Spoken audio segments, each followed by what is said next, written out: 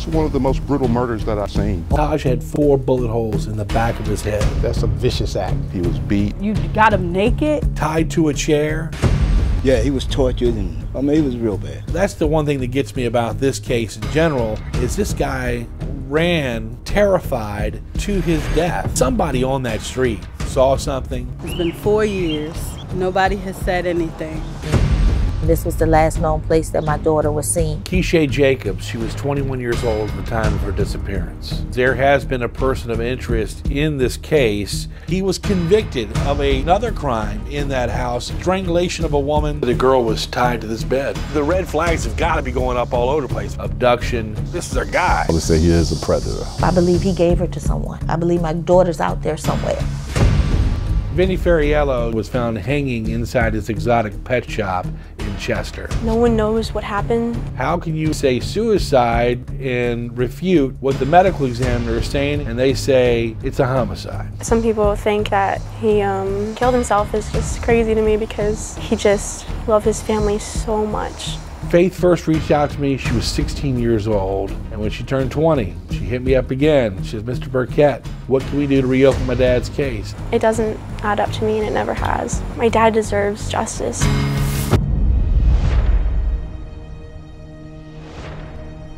All I want is for my baby to come home. He was a wonderful father. And it's sad that my grandson only got two years with his father. I was his only, his only daughter, and he loved us more than anything in the entire world.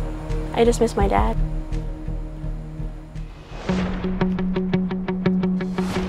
There are thousands of cold cases in Virginia, and only 1% ever get solved. Just want some answers. I just want to know what happened to my son. I really miss him so much. He was a child and he was our baby. I don't want to die not knowing what happened to my brother. We're wondering, still wondering, where is she, whether she's dead or alive. Only thing we want is justice, and that's all I can say. Nationwide, 240,000 unsolved murders. Virginia accounts for more than 5,000 of those cases. Cold case detectives like Johnny Capocelli spend countless hours reviewing interviews and old evidence, all in an effort to heat things up and bring closure to victims' families. I think we have an obligation to, to victims and the family of victims to do everything possible as technology, investigative science evolves uh, to bring those tools to bear to address those investigations and see if we can't get closure for those people. In my opinion, the success rate is, is kind of correlated to how the individual jurisdictions work these cases. In Chesterfield County, where Detective Capocelli served for nearly three decades, he spent more than 26 years in different facets of investigation work, a dozen years in cold cases. He has a passion to find the perpetrators of violence. How we built our unit from scratch, all of them felt that that was the model, if you will, for how cold cases should be worked. And when I say that, I mean allowing the team to really dive into the cases without the distraction, allowing the resources to come forward, and just as important, having a prosecutor there along the way from beginning to end. Capocelli says that model is why Chesterfield has had major successes in no-body cases. April 5, 2012, Altria employee Layla Namiranian failed to show up for work. Her body has never been found, but her killer, Michael Edwards, was convicted. June 6, 2014, nurse Zulma Pabon also never showed up for her shift. Asking just for help to just find her. About a week later, her car found 18 miles from her Midlothian home at a trailer park. Her body has never turned up. Her four year old telling investigators the father hugged mommy and she fell asleep was used in court to convict Pabon's husband, John Gibbs, for murder. He's currently appealing. It breaks my heart that this had to happen. Um, I'm glad he's not going to be able to do anything like that to anybody else. And Linda Lunsford, a Walmart employee that disappeared the day after Christmas in 1996. Her body never found. Her killer, John Howard, recently convicted. He spent decades on detectives' radar, and prosecutors pulled the trigger on a jury trial that wrapped up at the end of August. First and foremost, I think we have to give credit to our community. Our community works with us uh, they cooperate, they share information, they trust us, and they come forward um, and we can't solve crimes without them. And we emphasize public safety in Chesterfield County. We don't make excuses for that. We don't apologize for that um, because we care about our community and we want to get justice for victims. You like the angel from heaven. You don't have to say anything to me, okay? You know I'm not quitting, right? Cold cases work is it's just something that's always been close to my heart because, you know, I, I sat in the room with the family in the very first one we did in Chesterfield County in uh, 2006, I believe, and I, I've never felt that amount of emotion in my life watching the family of our victims crying and telling us thank you, thank you, thank you for never putting this away. So it was a pretty impactful moment in my career. People realize how tough it is to work on these cases and what you guys do. You know, this is that one shot for the family to, to find peace and closure about what's happened to a loved one. But she's looking at you to, to bring some closure to this thing. And I know a lot of parents are feeling the same thing that I'm feeling. There's a lot of parents out here who kids been gone longer than mine and they don't have no information, they don't know nothing, and they just sitting back waiting. Um, I understand her frustration. She's human, she's a mother, she's lost her child. Uh, so naturally, as any parent would want, they would want something done. Especially for them parents who lost their babies and their babies ain't been found. And they don't know, they don't know if they're here, if they're not. Like, I can't only imagine what them parents is going through. All I want is for my baby to come home and I don't know what happened. I just want some answers.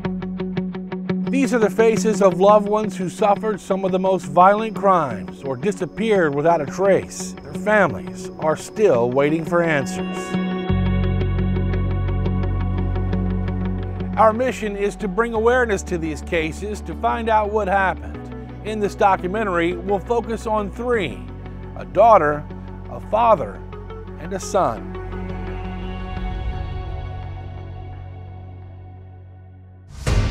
This was the last known place that my daughter was seen. Keeshae Jacobs, she was 21 years old at the time of her disappearance. There has been a person of interest in this case. The red flags have got to be going up all over the place. The person of interest is, uh, I would probably say he is a predator.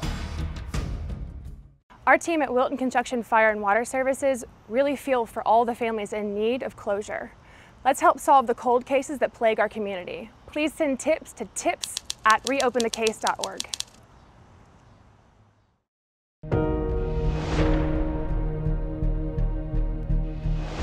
Candace, neighbors say police searched this park yesterday afternoon. This is an area close to where 21 year old Keeshae Jacobs uh, was last seen, a woman who is close to her family. They haven't heard from her in more than 10 days.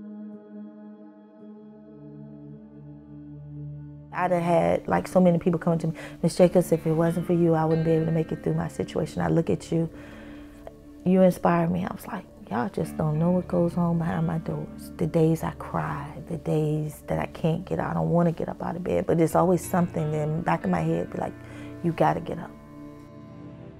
And if Keeshae, if you can hear me, I love you with all my heart and soul. And mommy misses you. And I'm never giving up, baby.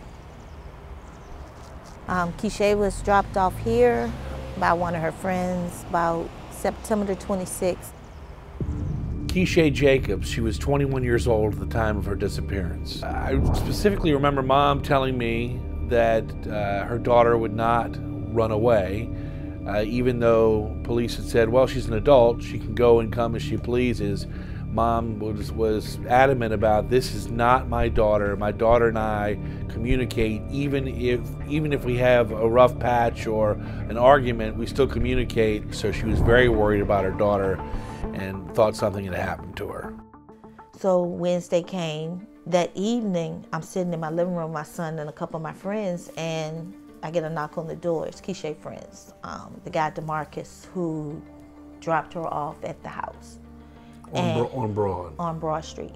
And a couple other friends. So I said it was like five or six of them. Then they proceeded to tell me that, hey, um, we went to the house that we dropped Keeshae off at and the guy said that he didn't, she wasn't there.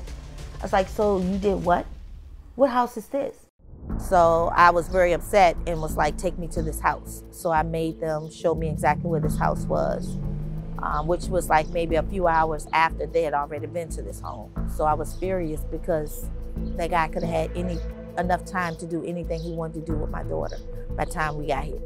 The initial detective on the case was Detective Billy Thompson at RPD until he retired about a year ago. Right now, they're kind of taking a two pronged approach. You have a homicide detective assigned to it and a missing persons detective assigned to it. The missing persons detective is uh, Clarence Key, and the homicide detective assigned is Anthony Coates.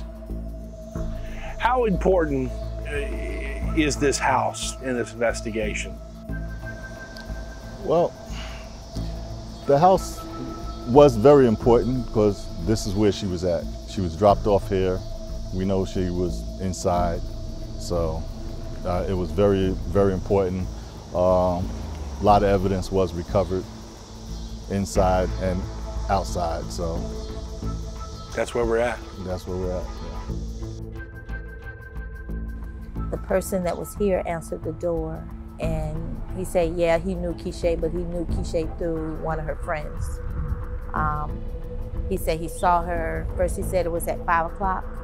Um, I told him that wasn't right. Then he changed it to 5.30, and then he changed it to six. And then I proceeded to call the police to let them know that his story wasn't adding up, and this was the last known place that my daughter was seen.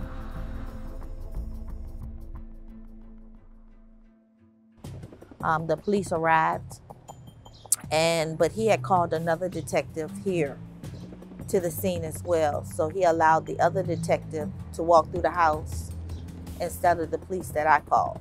Do you know what detective may have gone through and and cleared it, or is that a, a, a false rumor that's going around? I don't know. Since it's an ongoing, you know, case, and we can't really speak on that detective that was involved in that. The person of interest in this case did, in fact, call a Richmond detective to the house in Church Hill. It was someone he knew personally. That detective did go through the house before others. We've since learned the name of that detective. We're not going to name him here, but I can tell you my sources say that he is on unpaid leave due to code of conduct issues. However, it's not related to this case. After about a year of doing stories on Keeshae's disappearance, I learned of a person of interest name. We were reluctant to report it at the time because RPD asked us not to, but now, five years into this thing, almost six years. His name is Otis Tucker. Um, they, he went by Omar. But yeah, his name was Otis Tucker. I just recently found out he was in Florida. My most concern at this point is him doing it to somebody else.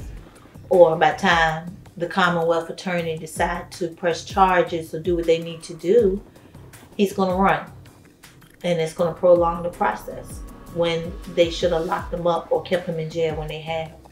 Otis has been questioned by the police but not officially charged for the disappearance of Keeshae Jacobs. He is also convicted of a crime in that house of strangulation of a woman and also bodily harm. He was accused of rape, but that charge was dropped due to a plea deal if you can, tell me about, there was another person this guy was arrested for and ended, ended up serving time for.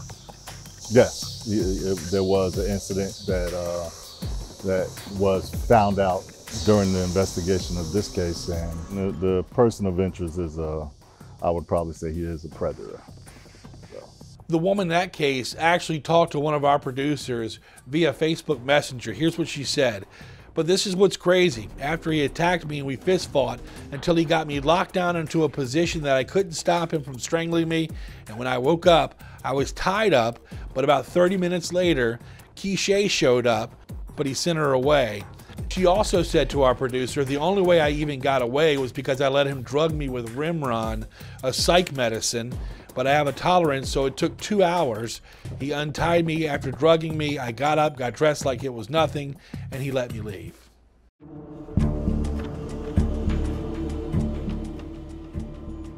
We were in Church Hill on the front sidewalk in front of the house where Keeshae was last seen. We were interviewing the new detectives on the case when the homeowner, Karen G, came up and asked what we were doing. And when we told her, because she has a similar story in her family of a missing person that was found dead, she offered to let us inside. Let's get you out of this rain.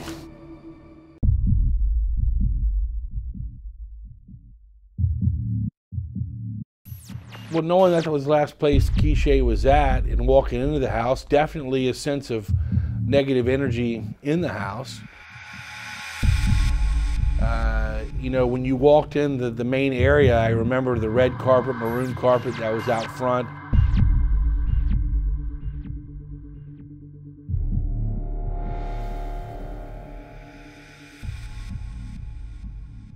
Once you go out the back door, it's a basement that's off the on the back porch. It leads down some steps. It's like underground, under the house, pretty much. I found that out. Um, and first, my first instinct was like, oh, this man could have had Keeshae down this basement the whole time when the police came to look, or when that detective walked through the house, and nobody would have ever heard him because it is so far in the house. It's like nobody would have known she was there. We used to have to come down here just to dry clothes, so you know I used to be like, ah, I hate to go. I used to hate to come down here. It was full with cobwebs. It still had junk from uh, back in the day in there. It had an old tube TV there, and uh, it just kind of gave you an eerie feeling. When you come down, man, and you just, you know, you got the case. Is this the first time down in the basement? When you see something like, does it kind of help you put things into perspective for the investigation? Well, it does. It helps you when you actually see the scene instead of looking at photographs.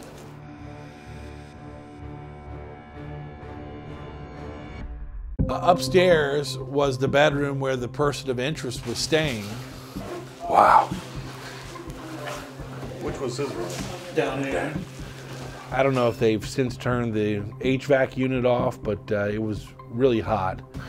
So is this the bed that she was alleged to be tied to? Mm-hmm.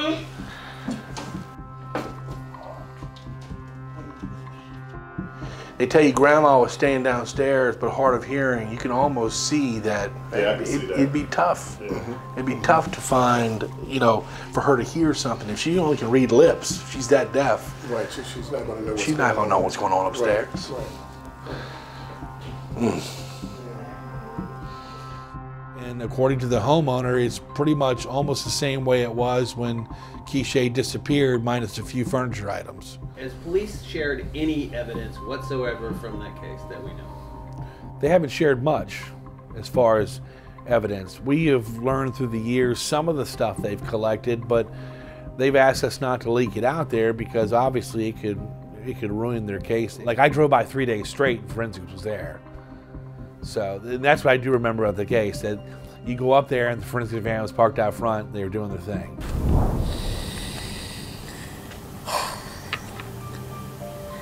This is the hardest thing I ever had to do in my life. I just want my baby to come home, and if you see anything or think you've seen her, please call so she can come home and she can be okay.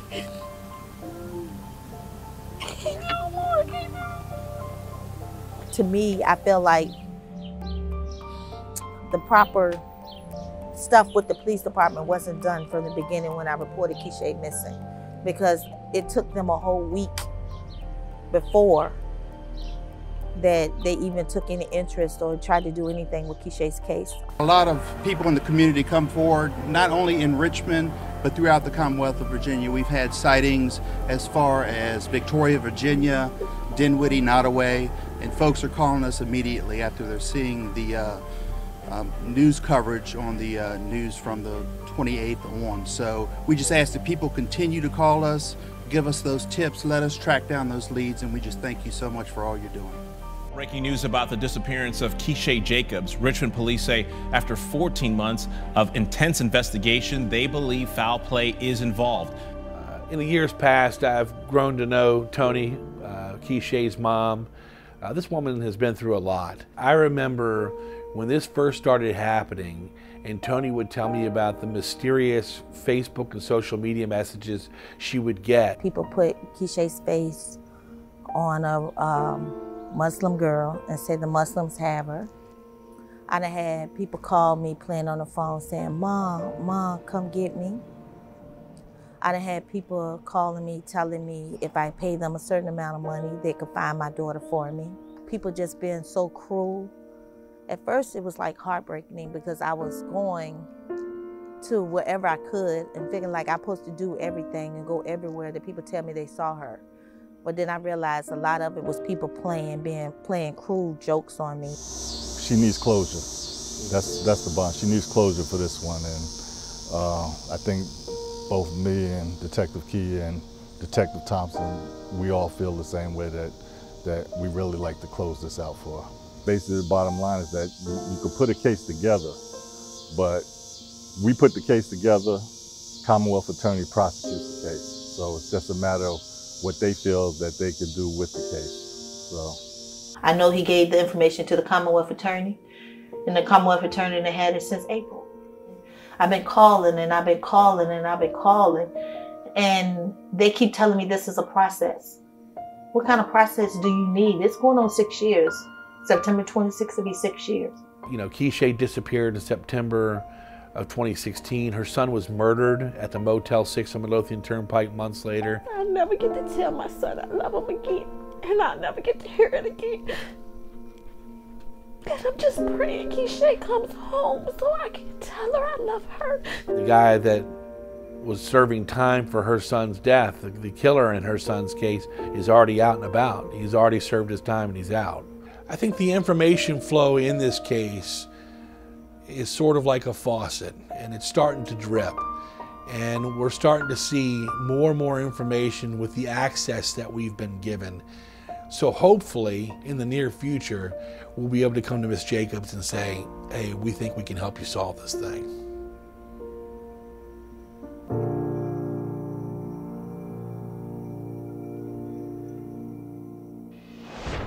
Vinny Ferraiolo was found hanging inside his exotic pet shop in Chester. No one knows what happened. How can you say suicide and refute what the medical examiner is saying and they say it's a homicide? Some people think that he um, killed himself is just crazy to me because he just loved his family so much.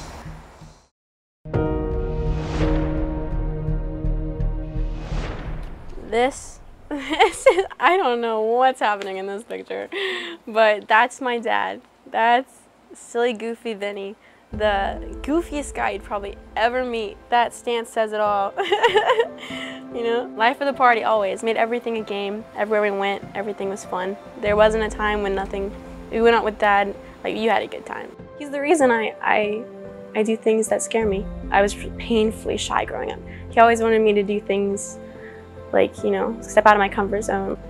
And I was really lucky to have um, 11 years with him. Vinny Ferraiolo, January 3rd, 2014, was found hanging inside his exotic pet shop in Chester. I want to say it's probably around noon, maybe 11:30 in the morning, and by one o'clock, I start my shift at 2:30. By one o'clock, I was already in. Uh, Vinny Ferraiolo was a science teacher at Thomas Dale. He's well known in the area. He's always known as the reptile guy. Say hello to my little friend. Vinny had swagger within the community. I mean, the kids loved him at Thomas Dale. Kids that came into his store loved him because he was very active with the snakes, would let them pet the snakes, and uh, just a really fun, uh, kind spirited guy to be around.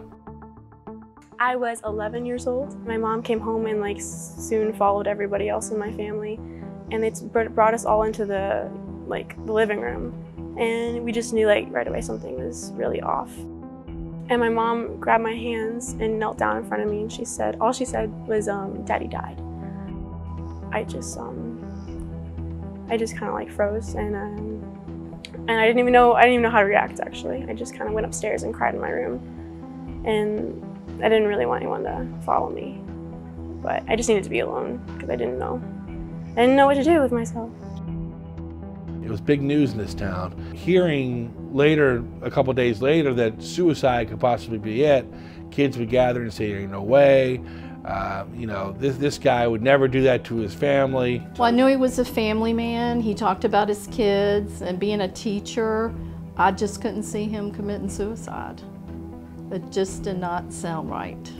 I didn't know for like two years after we found out that he died what happened. I, I Googled it actually, and um, and that's how I found out. I just saw everything that had been on like websites about it and everything. Faith first reached out to me. She was 16 years old, and she reached out to me via Facebook Messenger.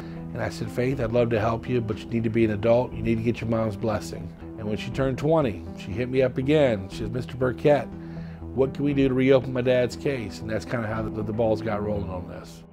It's hard to forget Bill and Stephanie, the scene that played out here about six months ago in this parking lot. This place was packed. We have also obtained a copy of Vinny Ferraiolo's death certificate. The medical examiner confirms his manner of death was homicide. I was shocked, you know, to see that in writing, you know, and but I'm kind of upset that this wasn't noticed before.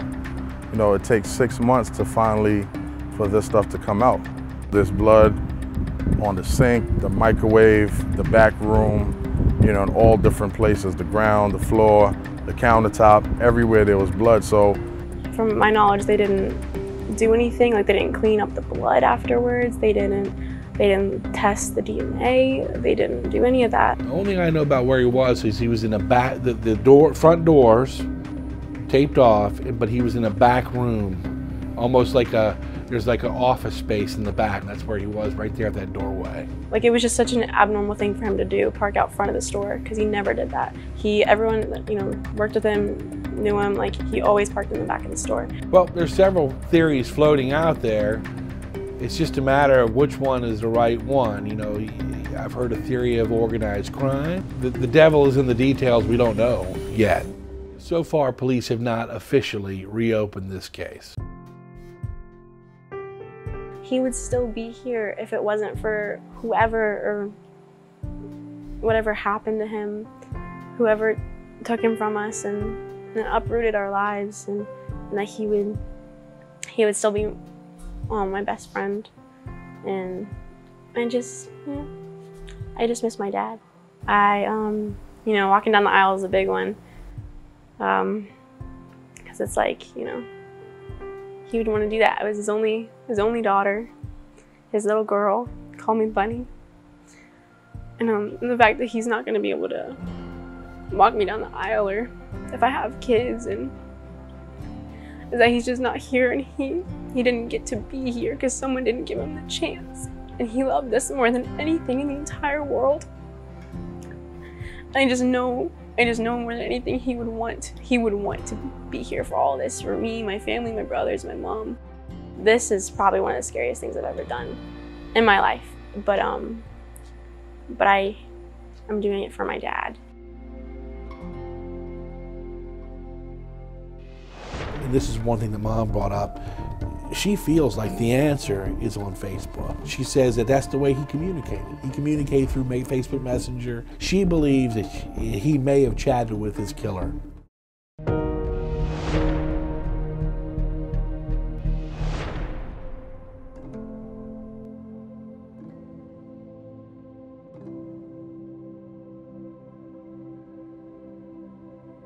Taj was your only son? Yes, Taj was my only boy.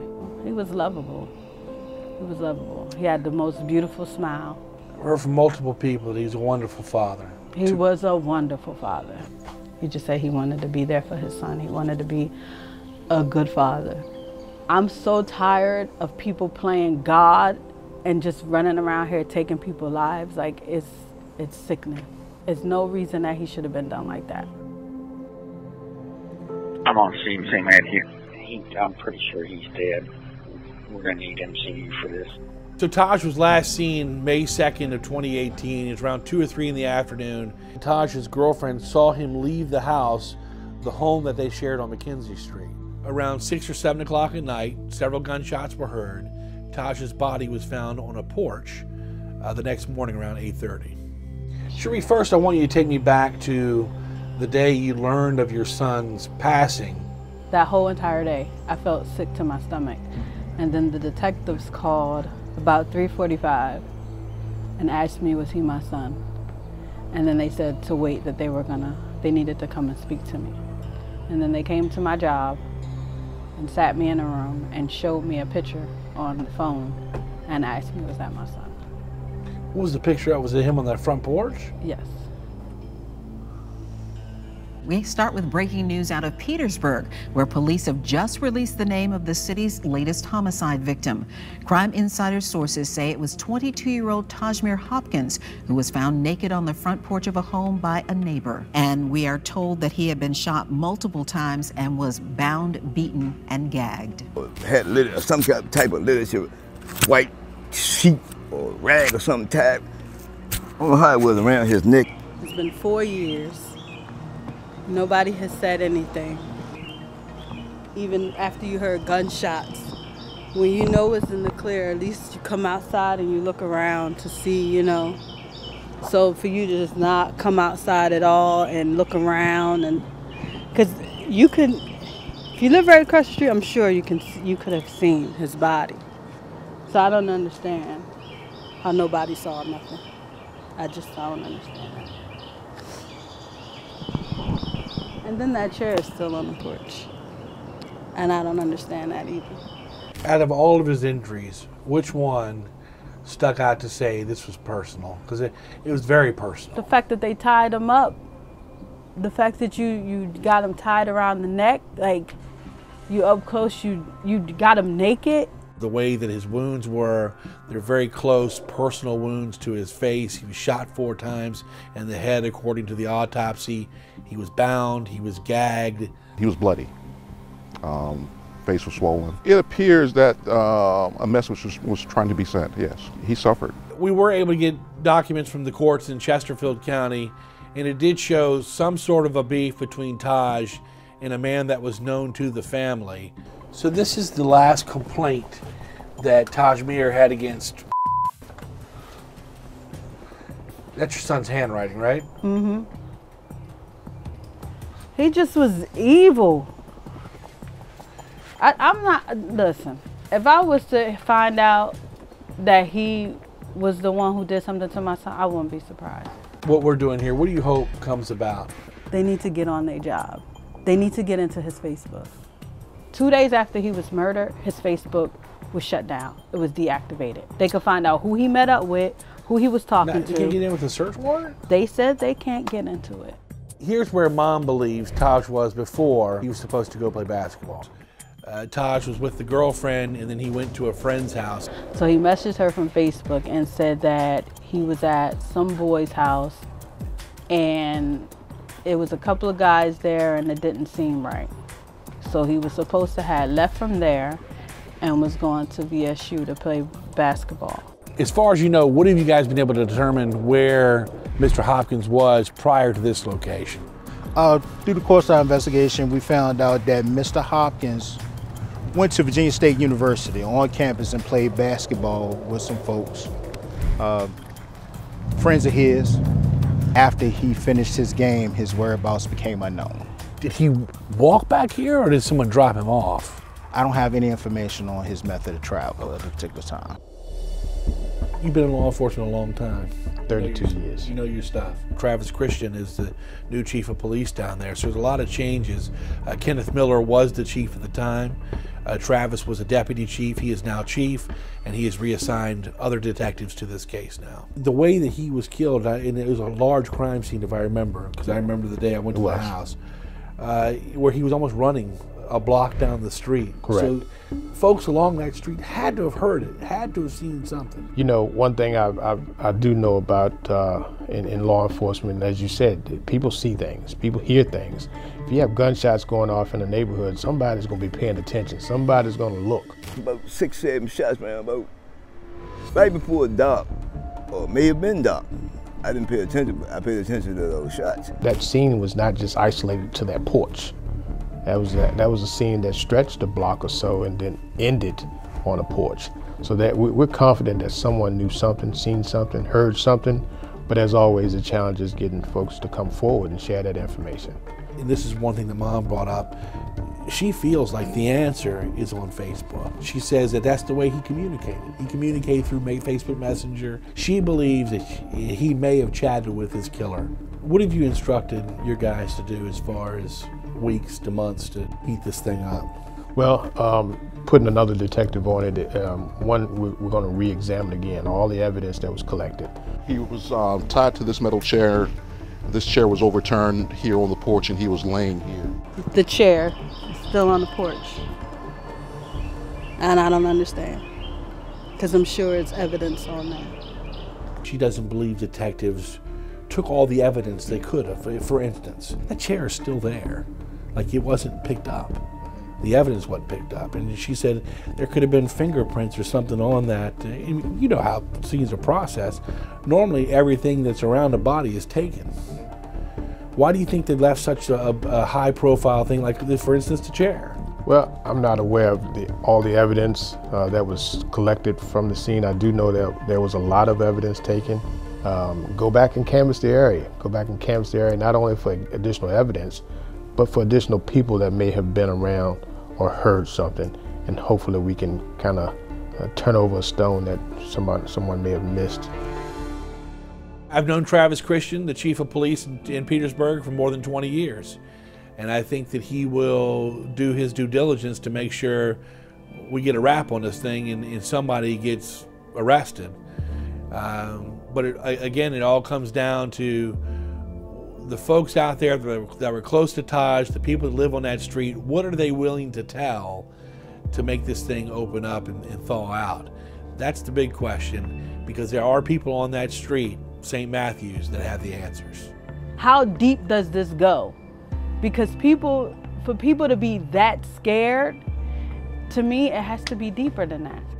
I just don't feel like he has peace. It's like this thing happened to him and it's it's not solved. Like I know it's happening to y'all family. Somebody needs to start talking. And it's sad that my grandson only got two years with his father because he was he was a good father. We first started working on the Tajmir Hopkins case back in April of this year. Let's check in with mom and see if there's been any progress. I feel like the only reason why I'm probably in a good place now is because reopen the case have stepped in. So that has given me more hope than what I've had this whole entire time. But I did have a chance to speak to the DA and we went over, you know, some concerns that I may have had. Our producer got a call from Detective Royster in August. He was making arrangements for Petersburg's forensic team to pick up the now infamous chair. And on Monday, September 12th, they came by CBS 6 and retrieved that chair. I take in consideration that I know that there is a lot of stuff going on. I know that there's a lot of deaths in Petersburg and you know, I know they got other cases going on and I already know they short staffed. The least you can do is reach out every once in a while. Make sure, you know, I know or the family know that we're still working on this case. This case ain't pushed to the back. It's frustrating that you have to, as a parent who lost a child, have to put in consideration of the department but the department is not considering you. So that is just a messed up feeling. It hurts. It really hurts. It hurts all of us. We recognize that once a loved one is tragically killed in an incident, that after the news story is over, a family is still living with that loss. And our commitment is to make sure that in every case possible, we can find closure uh, for the family and bring justice to the person who's victimized someone that we're responsible for protecting. Even to the bad guys, it's a message. It's a message that, you know, while they think that they may have gotten away with it, there's still eyes out there looking into this case and it will come forward.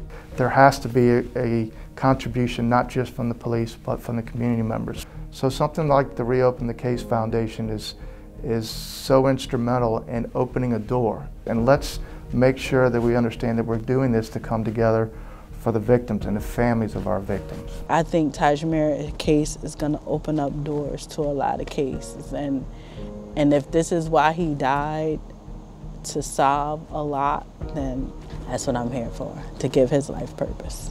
If you have information about the deaths of Tajmir Hopkins or Vinny Ferraiolo, or the disappearance of Keeshae Jacobs, call 833-RTCF-NVA or email us at tips at reopenthecase.org.